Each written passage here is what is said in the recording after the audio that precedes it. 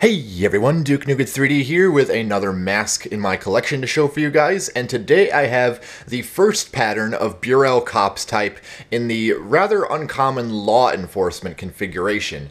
Uh, this is a mask that I've already done a review with uh, with Moulage as a sort of co-op review, albeit it was sort of a shitposty review with it with completely incomprehensible lighting conditions, but nevertheless, I after visiting with him. One came up for sale through the uh, through another private collector uh, who's basically unloading his entire collection. Me and Moulage have been getting all his uh, industrial stuff off of him, but I managed to stag this because this mask has actually been on my want list for a long time, and um, so here we have the again the rare or at least mostly uncommon. I'd, I'd like to say these are rare just because there's like there's only like about a handful of these in private collectors. There's probably more that we don't know of, but again, I digress. The Burrell Kops type uh, in the law enforcement configuration.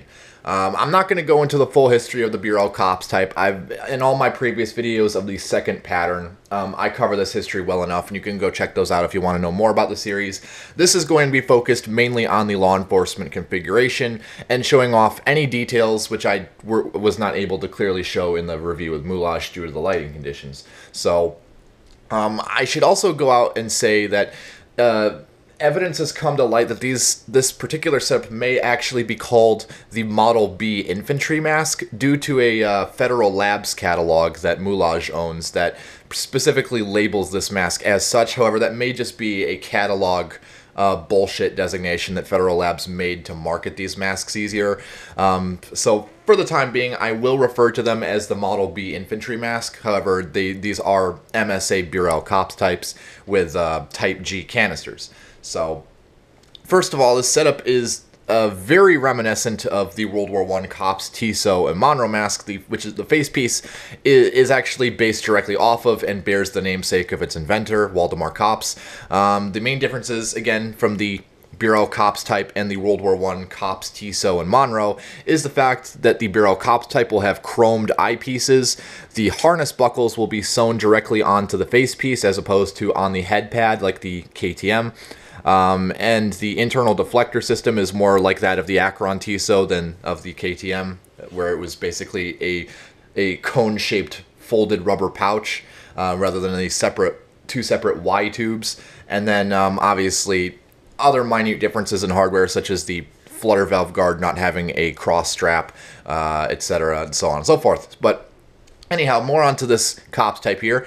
Typically what you'll see um, with this law enforcement configuration, the Model B, is that um, these will typically have a recycled World War I M1 chest carrier. This is the, as far as I know, these are always the late war pattern that have the uh, extended rain gussets, uh, and basically the ones that were designed for Tissot masks and not the shorter ones with the smaller gussets that were designed for the box respirators.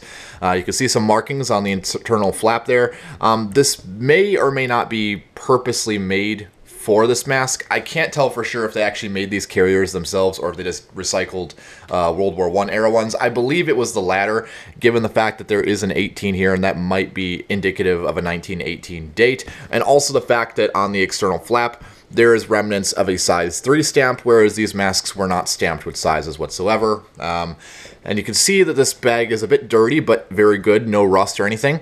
You can see uh, previously a law enforcement um, officer had written his name on here, some sort of official, uh, some sort of uh, officer, and also on the opposite side as well.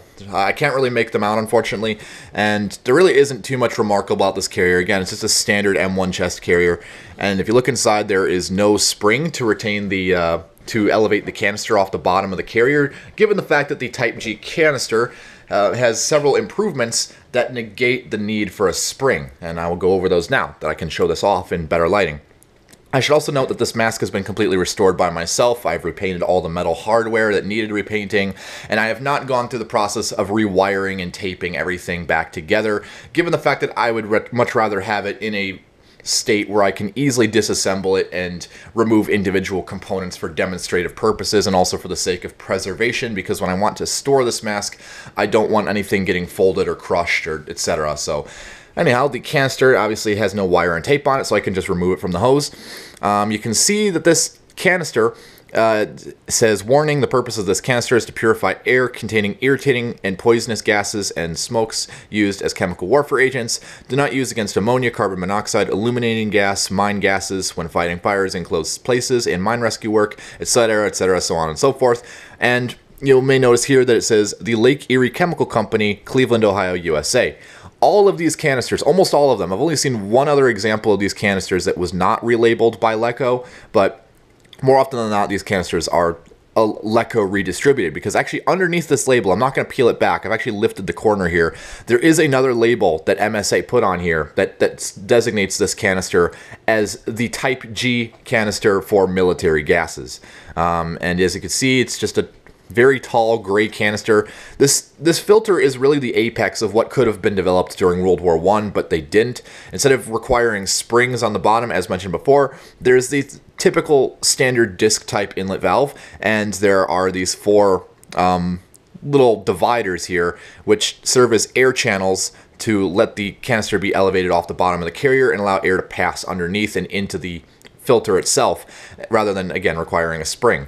On the top here, you have the typical MSA remove seal on bottom of canister before using, and you have a lot number or serial code 740, 340. Um, and then the view inside the canister, oops, give me a bump the camera, um, with a bit of tape around the shank, the hose shank of the uh, filter for fixing the hose. Uh, you, I also have retained the original plug that went on the bottom of this canister, which I'm not going to place back in its original spot because this thing is falling apart and I had to glue it all back together.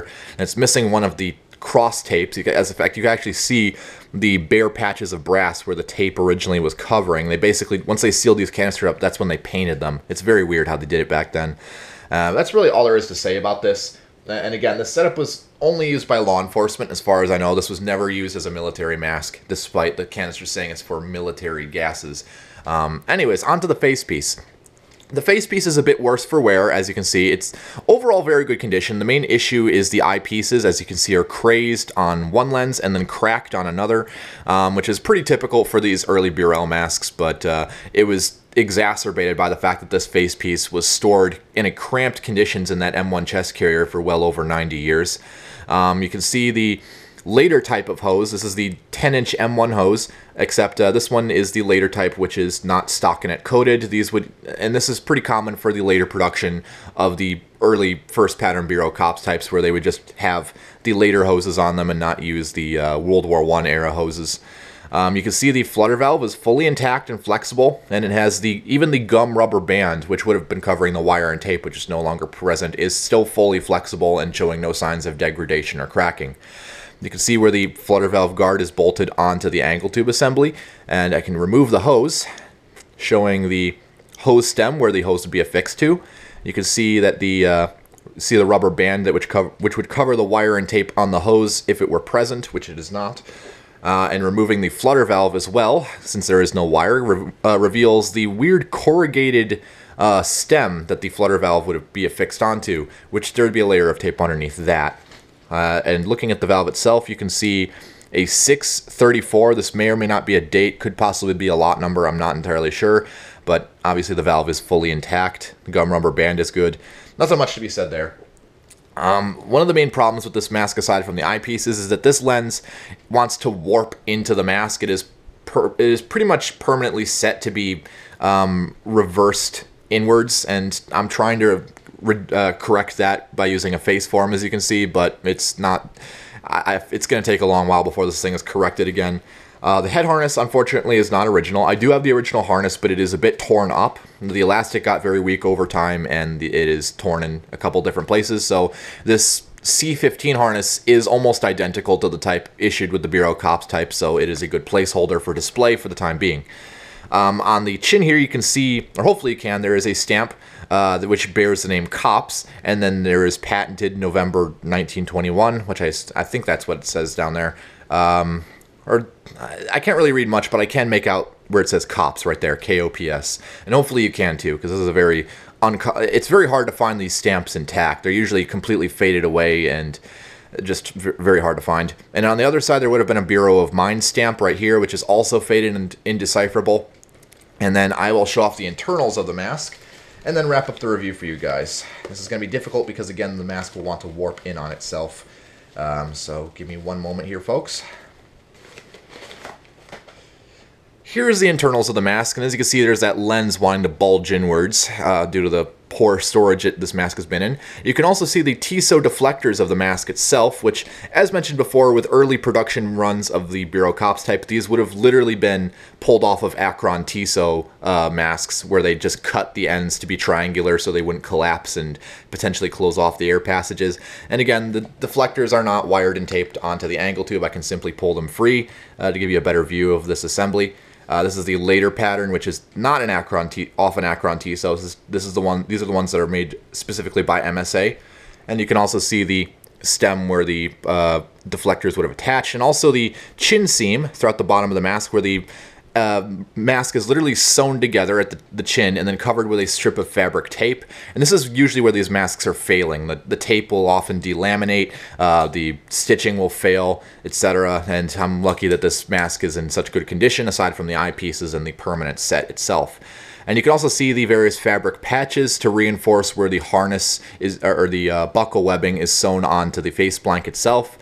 And really not much else to say. There's no really no other markings, etc. It's just, it is what it is. So, that being said, I hope you enjoyed. Uh, I don't really have too much else to say about this. If I missed anything, feel free to let me know. Um, and that really about wraps it up. Very, very uncommon mask, and I'm very happy. I'll probably end up replacing this face piece in the future. I'll have this one around to kind of fool around with, but I really want to have a good condition face piece with this setup. Um, but nevertheless, I'm very happy to have this, and thank you to the person who sold this to me. You know who you are if you're watching this, and uh, that's that's about it. Uh, if you have any comments, questions, corrections, or concerns, drop them down in the comments below. I'm Duke Nugget 3D, and I'll see you all later.